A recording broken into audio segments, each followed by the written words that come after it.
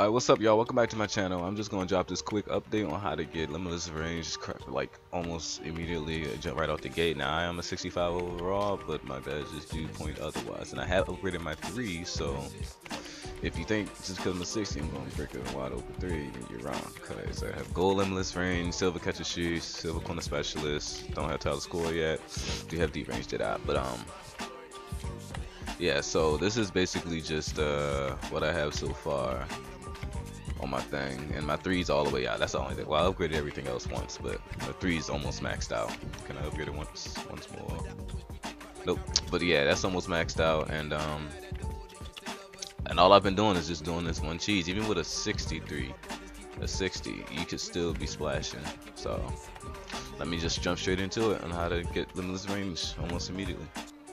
Alright, so what I usually do is after a game, I go straight to the training facility, I go to limitless range, and you don't want to do the skill drills. You do not want to do that because they're limited on how much you can get. But if you do the one minute three point challenge, which I'm about to show you straight into, uh, uh, yeah, so when you do the one minute three point challenge, if you start pulling from deep, deep range, basically it's gonna be like actually playing a game. So like, um, I'm a little bit trash apparently. But um it goes up a limited amount depending on how many shots you can get in that minute, how many you can make towards how many you make I miss.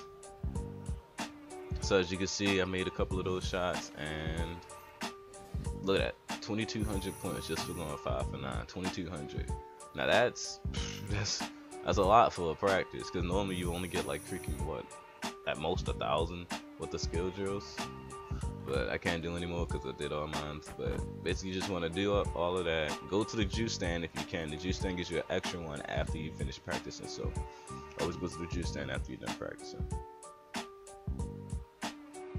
Let me try it again. So what you do is you want to sit right about here, step back, have a little space between y'all. Hold R2, push the right stick back, and then pull up. And nine times out of ten, it's gonna go in. But if not, then uh, you know, you're gonna brick some, especially if you don't got a 99 uh, three point. Cause me, I have a, uh, I have a 92, I believe. So I'm gonna brick some here and there. But as you can see, that first shot I pulled off right in his face, it was wet. So sometimes you miss them, sometimes you don't. And I really don't play too much defense in my career because I really don't care. I want to get to the office, I want to get the badges, I work with my uh, hot spots next year, and of course they pull up. So the bad thing about this tactic is when you're first starting off, is you're freaking teammates barely give you the ball, so you have to spam X. And actually, I'm just on the score because I really don't care. Go ahead, Kyrie. Of course, here goes LaVine bringing this man over to me. So I back up a little bit to the line, right stick back, and then I pull up, and it's what? So you, when you do it, you just hold R2, flick the right stick back, and then you just pull up.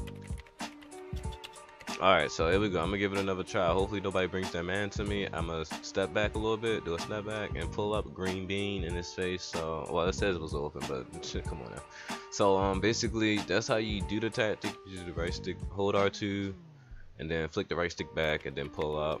It's almost green almost every time, so it's not that big of a deal. Only problem I have is when people bring that man to me, which is why I'm actually shooting 3 for 8 right now, because every time I did the snatchback, uh, somebody will come over to set a screen, and then that man will guard me instead of my man, so...